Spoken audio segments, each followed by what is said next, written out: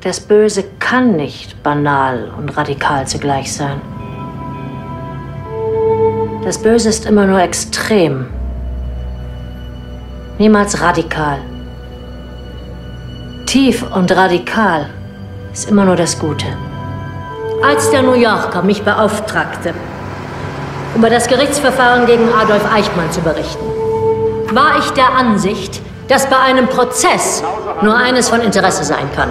Der Forderung nach Gerechtigkeit Folge zu leisten. Die Entführung durch die israelischen Geheimdienst Fratzken war illegal. Israel hat das heilige Recht, einen Nazi zu stellen, der Verbrechen gegen das jüdische Volk begangen hat. Dieser Prozess ist sehr wichtig für uns. Hat man Ihnen nachgewiesen, dass die Juden müssen vernichtet werden? Ich habe sie nicht vernichtet. Er ist so völlig anders, als ich mir vorgestellt habe.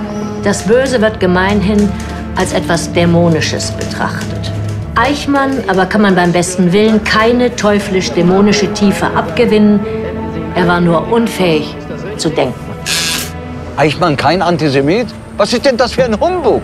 Anna, du gehst ihm auf den Leim. Na bitte, du kannst das so nicht schreiben. Nicht für den New Yorker, auf gar keinen Fall. Staatsanwalt antwortet auf Hannah Arendts bizarre Verteidigung von Eichmann. Fahr zur Hölle, du Nazi Und dann diesen Mörder als einen Clown zu bezeichnen, der keinen eigenen Willen hatte. Und dennoch sagt sie, er sei normal. Und es ist dieses Phänomen, das ich bezeichne als Banalität des Bösen.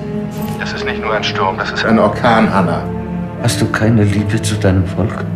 Sie denken, deine Artikel sind großartig. Sie ist mutiger als sie alle. Und die wünschen dir den Tod.